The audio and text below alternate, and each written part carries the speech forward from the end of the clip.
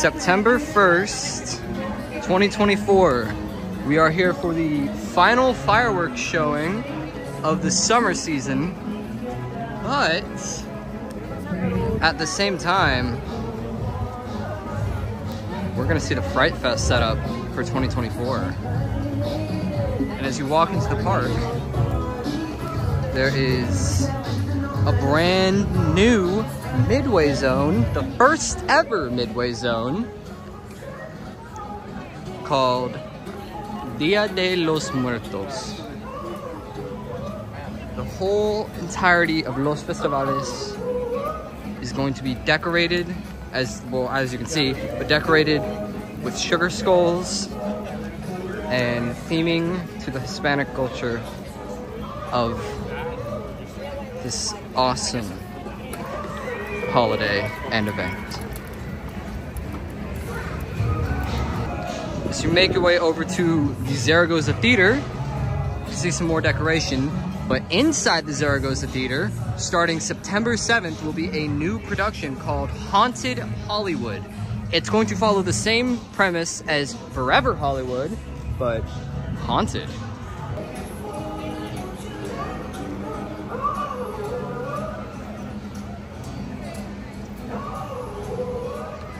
Make our way over to the main area.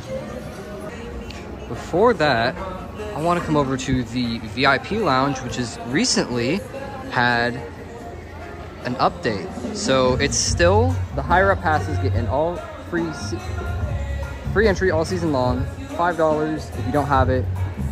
But they finally added the complimentary snacks and the menu back into uh, the lounge. As you can see, this cycles through some of the things you can find inside the lounge. Uh, they serve sirloin steaks, they serve Philly cheesesteaks, and cheese quesadillas.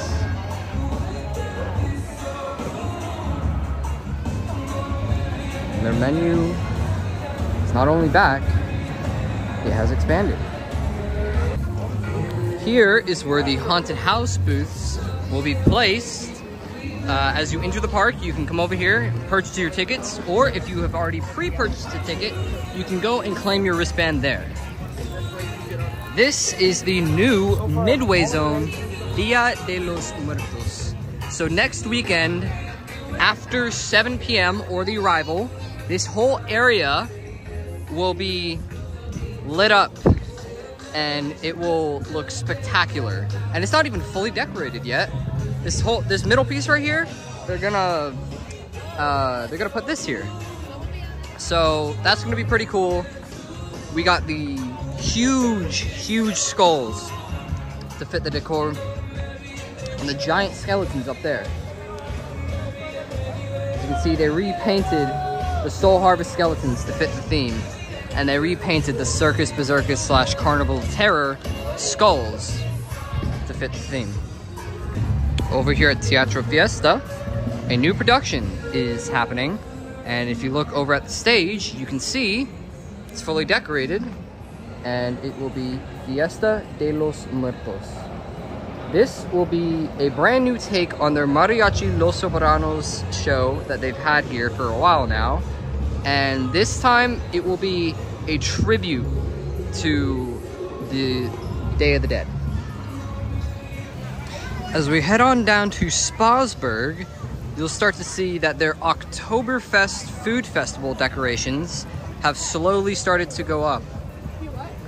This year, the event will run from September 7th to October 27th, and you can find many different food offerings and drink offerings throughout the event located here in Spassburg.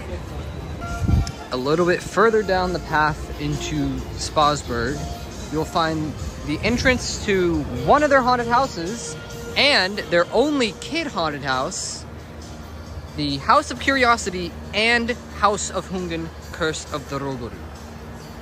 As you can see, the sign is back there, waiting to be put up. But this is the entrance.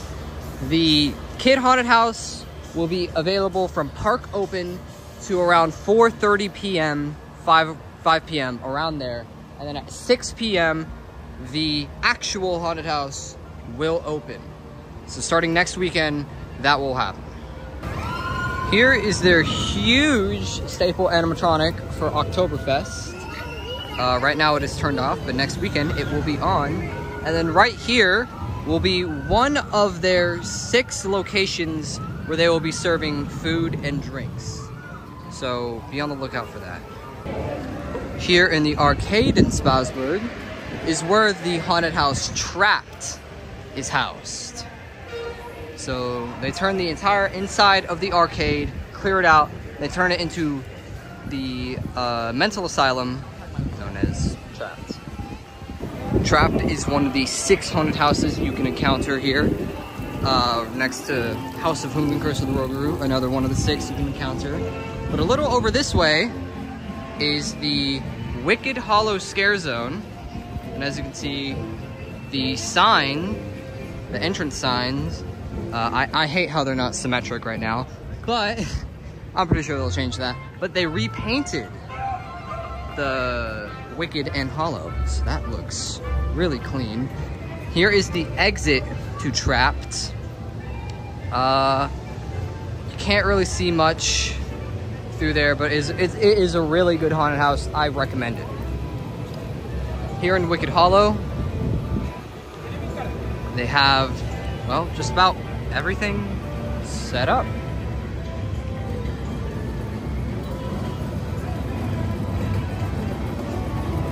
The dolls. They actually redid the dolls. As you can see, they have brand new paint on them and kind of a new take.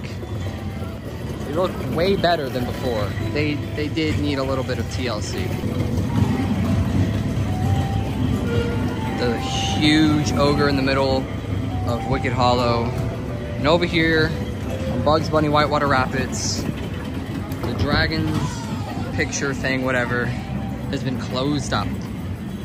And as you walk out of the zone, there's still two more horrifying props left. There's this guy who has four arms and axes for feet.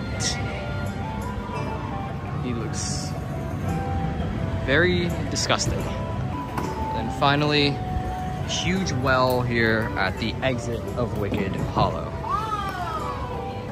As we make our way over into the DC area, you can see they have started to put the rails up for the Metropolis Transit Authority, or as we like to call it, the monorail. Cyborg Cyber Revolution is over there. They've already begun testing. The track for the monorail is almost complete. They just got a few more tracks to place down. Then they can start building the Q house and do testing. And finally, after that, Shazam Tower of Eternity construction will go into full swing. Right now, it is vertical, but progress is really being focused on finishing the monorail. Next to DC Universe, they have the construction of the new entrance and store to Superman Krypton coaster. They're gonna be turning this whole thing into a Daily Planet themed store. And right now it is predicted to open Fright Fest opening weekend. As you can see, the majority of the outside is complete. As we head over to the Rockville area, you can see that you can get a shake over at Johnny Rockets. That's pretty cool. Anyway, this area of Rockville is getting a whole renovation for Fright Fest. Infestation, gone. Rockville High School, gone. What's in their place? A new zone and a new house. The new zone being Festival of Fright, which, hmm, looks like nothing is set up for it, which is, now that, here's the concept art for it. Now that I think about it, it seems pretty easy for it to be set up, so I can see why they're waiting. The inside of Rockville is what they're most likely focusing on right now because the zone that's gonna go, or not zone, sorry, a house that's gonna go in there is Stranger Things. That's right, we are getting a Stranger Things haunted house inside Rockville High School for Fright Fest. But if we make our way over to the left side over here, you can see they have begun setting up for not Festival of Fright, but the Spooky Town Looney Tunes Trick or Treat Trail. This is the area where you'll be able to do trick-or-treating during the daytime on Saturdays and Sundays. Fridays, they won't have this open. You can see everything that they have here. And it looks like this is the entrance to it. And as you can see, Spooky Town. Yeah, that is the trick-or-treat trail. If you're sad that Infestation is gone, then don't worry too much. Because this area over here to my left is going to be rethemed for Fright Fest to a 1950s sci-fi area. And with that comes the old Infestation props. As you can see, they have a brand new sign here for Scream. The alien is still here. The UFO is still here. The other UFO is still here. But the more important part about heading over here is a brand new show for the 2024 season called the Heebie Jeebies. Here is their set stage. As you can see,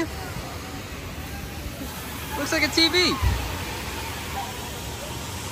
This show will be very similar to Motley Ghoul's last year, but take more of a 1950s to 1960s style for their music.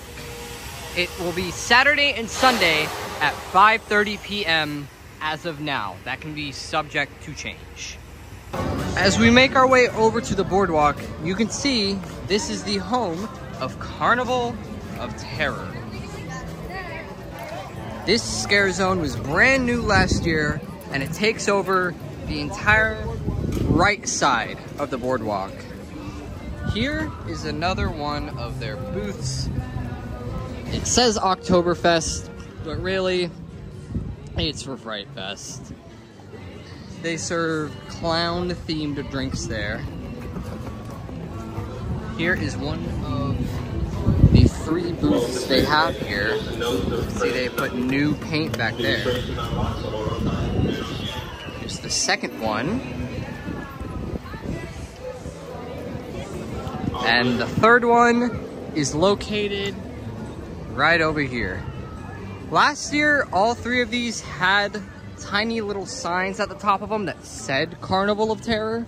However, this year, they do not. And I wonder why.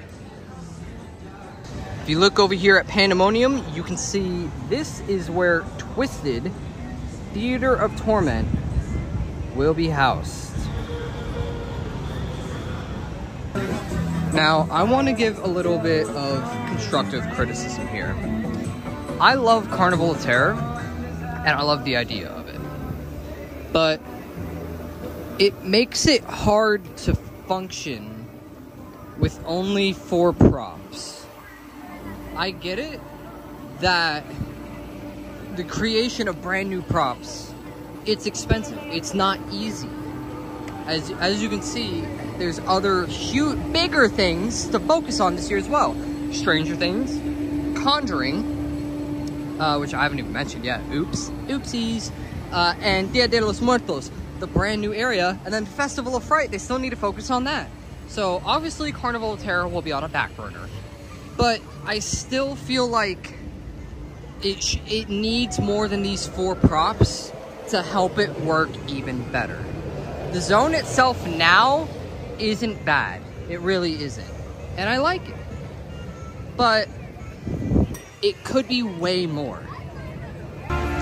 As you head into the archway to Crack Axle Canyon, you can see a beautiful mixture of Halloween and summertime. All the summer decoration is still up, yet at the exact same time, the Halloween decoration is there next to it. But over from here, you can see a sneak peek of the Monster Mash Bash set, which we'll get a better look at later tonight. Here's the other side of that, and now we have to head back over to the boardwalk because I forgot to look at Hell Valley.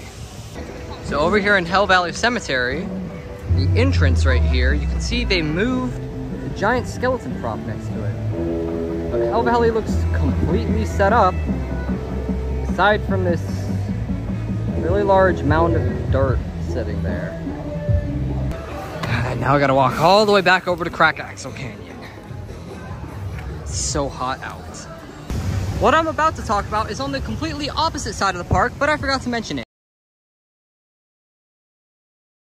Over inside Sangerfest Hall, Spin will be returning again, and outside of Sangerfest Hall, in the courtyard, the beer tapping ceremony featuring Door Spin will also be returning. So as I was walking past this, I didn't even realize, but this whole part of Gully Washer, they got decorated with their typical camo leaf things. Same with up here along Bubba's and the bar. Let's see how that's going. But more importantly, over at the heart of Crack Axle Canyon, which is the Whistle Stop Station, you can see there is the old Steam Pumpkin prop, the Arrival, which is coming back.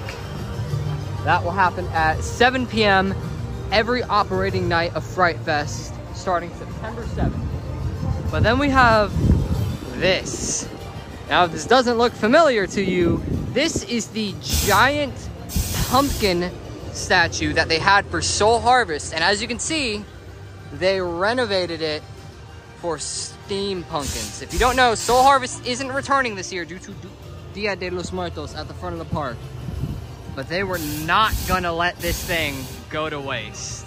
And that is amazing right there. There's the arrival sign. This is where the arrival will happen. You can see the train station is a little bit decorated. And then here is the other big pumpkin guy. There's still a third one a little bit further down. Uh, and once Fright Fest starts, this whole entrance to the train station will be completely decorated. It's the little things like this that amount to the most. Because without all this theming here, and without putting stuff up there as well, all that would be over here is just a couple pumpkins.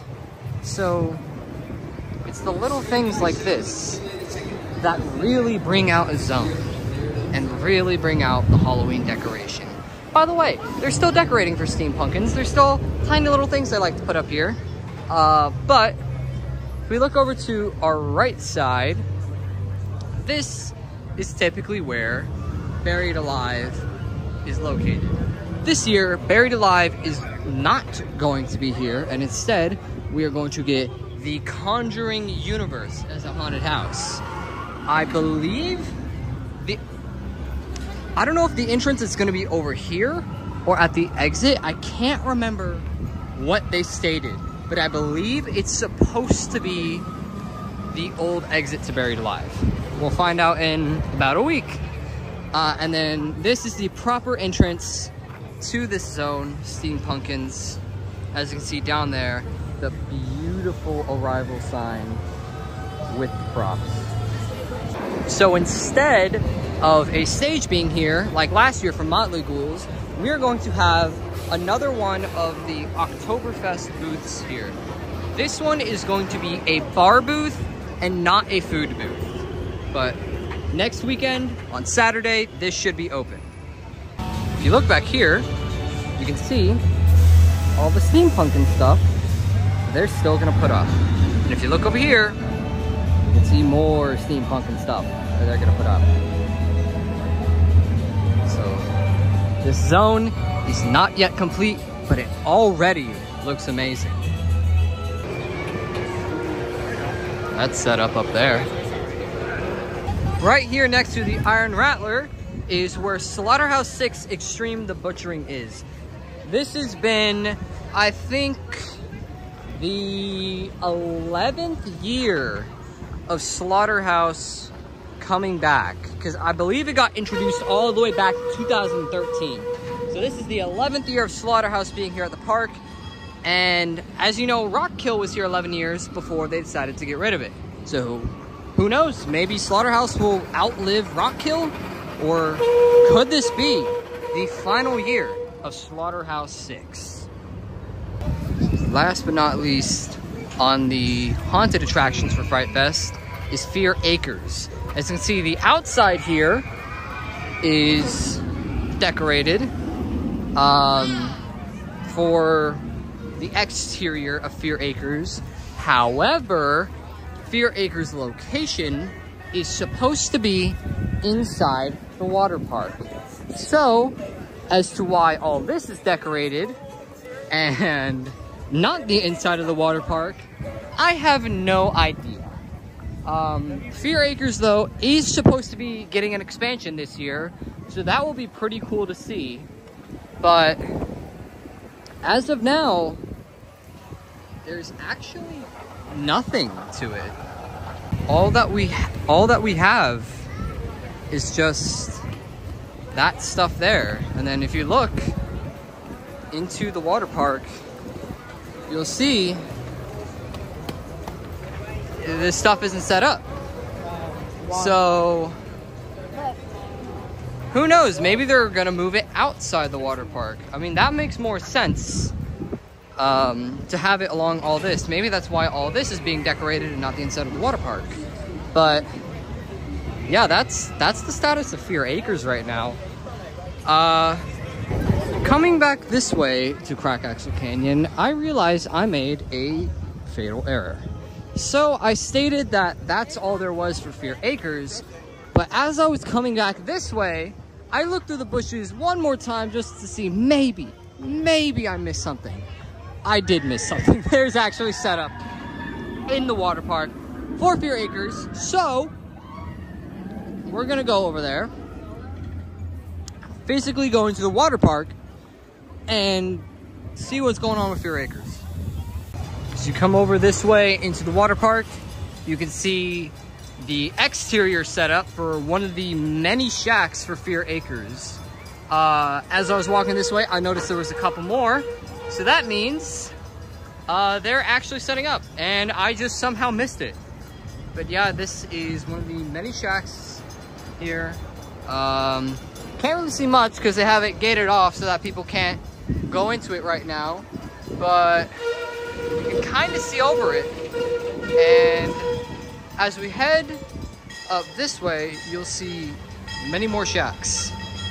In fact, this whole backside is actually exposed, so you can kind of see that. But uh, yeah, there's, there's more. So I've completely messed up the pathing for Fear Acres, but this is, again, another one of the multiple shacks that they will have in this extreme scare zone. So this is the actual path. You would go through here, come out that side, and from there, you will travel over to that next shack, which we're going to. So this is the third and final shock of the normal Fear Acres. Uh, you can kind of see through there, but supposedly the zone is getting a bit of an expansion due to Soul Harvest not existing anymore. They're gonna use some of those props. Now, walking through here, I don't see anything that indicates that, but as you can see, they're still setting up, so who knows? Okay, so now that we've actually gone through there to check, you can see that the setup for Fear Acres is actually going quite strong and isn't just what's happening out here. That is, that's just a mistake on my part for not actually checking. I should have actually went in there to check, so that is a mistake. But as I was walking this way, what had happened was I decided, you know what, maybe, just, just maybe, I missed something. So I looked through here and I saw those gates. So I took a closer look and then I saw the shack and I was like, well, damn. I mean, that's cool that it's being set up, but how did I miss that? Um, but yeah, that's really everything regarding the haunted attractions Uh, all that's left to show off is the Mash Bash stage. How about we cut to a closer look at that Mash Bash stage? So before we actually go over to Mash Bash stage, we're here with a few, few of our others. Go check out their channels. Swizey, uh, I think it's just his name, Tyler. Um, and then Jay. They're gonna, I think all of them are posting videos. I know for sure Tyler and Jay are. I'll leave the link to their channels in the description. But yeah, we're, they're gonna be involved together in their videos. I'll be involved. I did get here before all of them though, so I got my Fright Fest setup video done. But right now I'm, I'm relaxing and walking around with them. Here we are, uh, Lone Star. Oh, what a night. The final one of the season. About to start, but as you can see, they are fully set up for Rock Apocalypse Anthems and Monster Mash Bash The Bloodletting. Everything is here. And this is how we're gonna cap off our Fright Fest setup video of 2024. We're gonna go see Oda tonight for the last time this season, possibly last time ever, because this is its second term. And uh, yeah, six days from now, we're gonna be back here, waiting for this to start. See y'all then. So we're sitting here waiting for the final fireworks show of the summer season. And then the speakers just went out, out of nowhere. I mean, like, the timer's still going, but, uh... This... Oh. Oh, okay, this is what we're doing. Oh, alright. What? What?